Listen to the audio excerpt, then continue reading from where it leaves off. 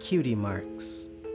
These magical symbols that lay on ponies' flanks have the ability to change the very destiny of the pony they inhabit. But do they actually limit a pony's talent?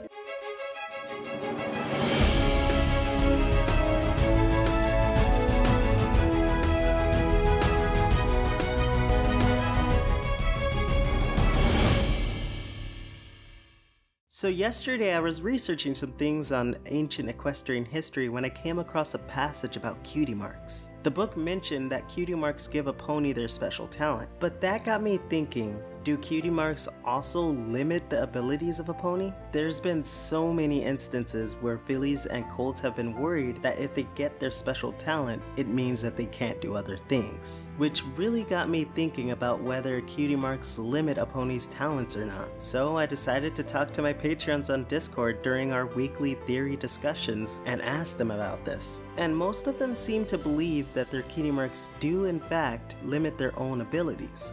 So I was just gonna leave it at that. Another case closed by Ace Attorney Windstriker. Well, that's until someone by the name of, um, the Nameless One? Right, well, he jumped in. He really did bring up some good points though. In fact, he argued that a pony's cutie mark doesn't actually limit the pony, and that every pony is free to pursue whatever they want.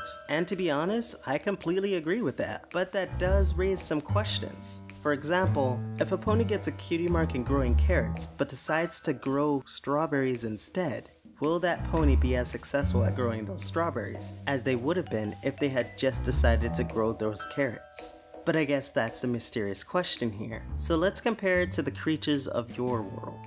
All of you have a special talent, even if you don't know what it is yet.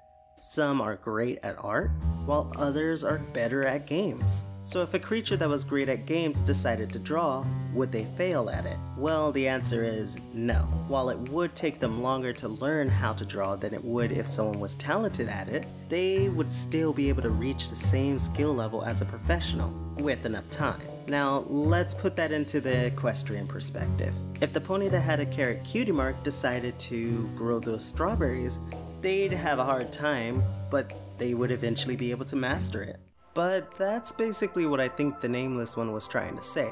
And it does really add up when you really think about it. But it leaves so many questions unanswered. Like, why do ponies worry so much about their cutie marks limiting them? Why does a cutie mark grant a pony a talent while others, like Gabby, can be amazingly talented at a plethora of things? Well, she isn't a pony, but the point still stands. And the final question what is the origin of cutie marks? All questions I'll have to answer when I get back from visiting Dr. Whooves.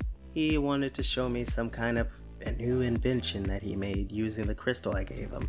He calls it the pony box or something. Anyway, I also want to thank every creature that's been supporting me on Patreon, especially my Alicorn and Creature tier patrons, Princess Sam, Angel of Speed, and a very special thanks to my Derpy tier patrons, Skarmex, who says that Spike is the best princess. Yeah, okay, sure, why not? And Trailblazer, who says, Woot Scootaloo! And that's the spirit, Trailblazer. Anyway, if you want to help support what I do, follow me on Patreon. The link is above. Or you can always like, subscribe to my channel, and share the video. Anyway, I'm Windstriker Brony, flying off until next Friday. Hoof to heart.